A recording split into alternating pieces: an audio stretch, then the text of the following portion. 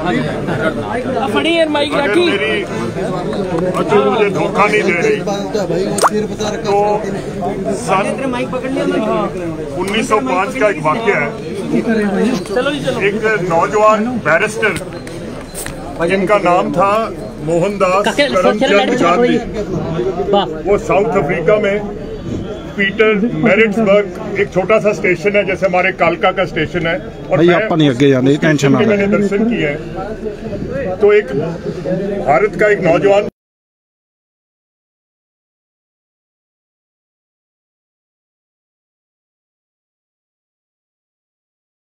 जिनका नाम मोहनदास करमचंद गांधी था वो रेल पे सफ़र कर रहे थे और फ़र्स्ट क्लास के डब्बे में सफ़र कर रहे थे। तो उस डब्बे में दो अंग्रेज़ फौज के अफसर आ गए। और गांधी जी से पूछने लगे कि आप फ़र्स्ट क्लास में सफ़र क्यों कर रहे हो? आप हिंदुस्तानी हो और आपका रंग काला है। आप स्टेशन से इस गाड़ी से बाहर निकल जाओ। जब उन्होंने जवाब दे दिया तो पी, पीटर मेरिट्सबर्ग स्टेशन पे महात्मा और उनके जो सारा सामान था धक्के मार के ठुड्डे मार के स्टेशन पे उन्हें गिरा दिया गया। और महात्मा गांधी ने वहाँ एक ऐसा एक वचन किया एक अजम किया। और वो अंग्रेज़ अफसरों को बोले कि आज तो तुमने मुझे रेल के डब्बे से बाहर निकाला है एक दिन आएगा जब मैं आपको अपने मुल्क से बाहर निकाल दूँगा आज उसी महात्मा गांधी के मुजस्मे के नीचे पंजाब के कांग्रेस पार्टी के चीफ मिनिस्टर और सारे जो चीफ मिनिस्टर साहब के साथ एमएलए काम करते हैं हम ये अजम करके चले हैं ये संकल्प करके चले हैं जो लखीमपुर खेड़ी में जो बर्बरियत के वाकयात हुए जो वैश्यत हमने देखी हम महात्मा गांधी जी की कसम खा के इस इनके मुजस्मे के नीचे बैठे रहे हैं।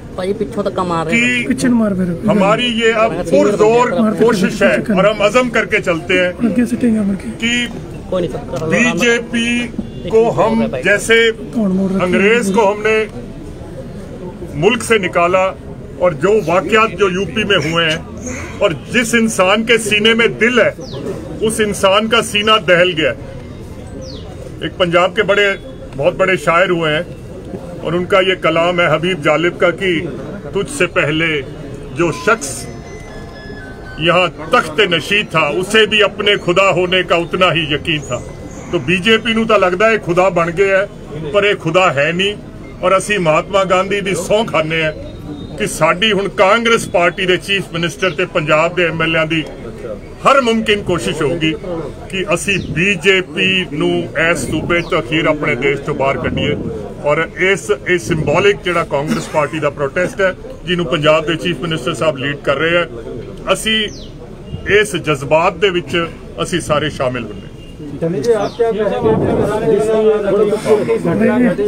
ईपी नपरे मेरे करनी चाहिए की गिरफ्तारी कर ली गई है ਜਿਹੜੇ ਅੱਗੇ ਲਾਈਟ ਬੰਦ ਕਰ ਲਓ ਯਾਰ ਲਾਈਟ ਥੱਲੇ ਕਰ ਲੈ ਨੂੰ ਭਾਜੀ ਲਾਈਟ ਤੁਹਾਡੀ ਬੰਦ ਕਰ लाइट बंद कर बहुत धक्का दे रहे तेरा बहुत बहुत ही दुखदाई घटना हुई है चक मोड़े माइक के निंदन योग घटना हुई है निंदनीय है ये कार्रवाई जिस तरीके से पीछे से गाड़ी ले आकर मैं शांतमयी ढंग से प्रदर्शन कर रहे। किसानों को गाड़ी के नीचे कुचला गया है मारा गया है। और ये सब कुछ इंटेंशनल हुआ है। पहले बीजेपी के लीडर ने लेक्चर करके ये कहा है कि हम इनको छोड़ेंगे नहीं यहाँ से निकालेंगे। और फिर इंटेंशनली उनको मारा गया। ये ब्रूटल एक्शन है। जलियावाले बाग की याद करवा दी है कि किस तरीके से जनरल डायर ने शांतमयी प्रदर्शनकारियों को गोलियों से मारा था। आज किसानों के साथ वैसे ही किया गया। ये इस तरह का निज़ाम देश में नहीं चलेगा। हमारे नेता प्रियंका गांधी जी को अरेस्ट किया हुआ है। दिस इज़ टू मच ये बर्दाश्त नहीं है। आज खून खोल रहा है सारे देशवासियों का। इसीलिए मैं आज अपने साथियों के साथ महात्मा गांधी जी के चरणों में आकर बैठा हूँ कि हमें शक्ति दो कि हम शांतमयी ढंग से अहिंसा के रास्ते पे चल सके। अमित शाह हमने वहाँ बात करेंगे मैं कहना चाहता हूँ केंद्र सरकार को कि देश के नौजवान को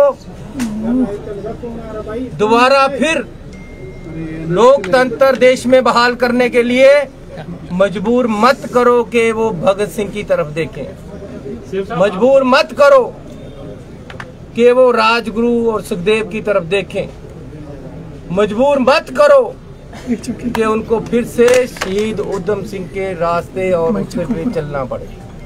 आज ज़रूरत है कि पब्लिक की आवाज़ को पहचाना जाए।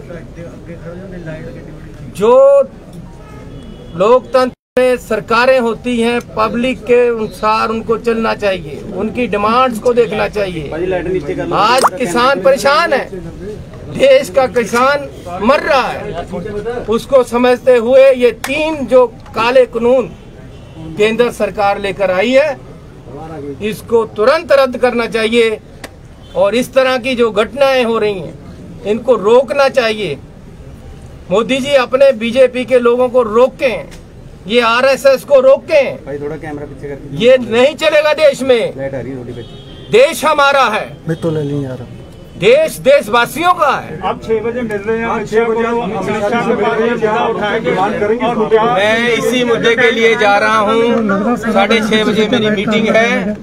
उसमें ये इस बात की भी चर्चा करूँगा।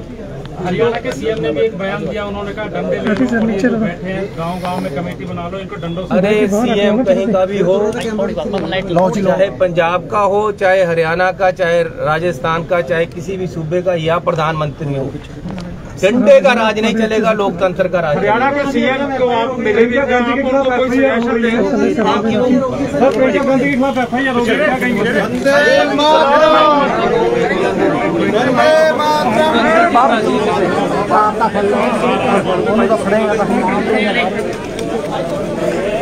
क्या देख रहे हैं देख तो लोग जा रहे हो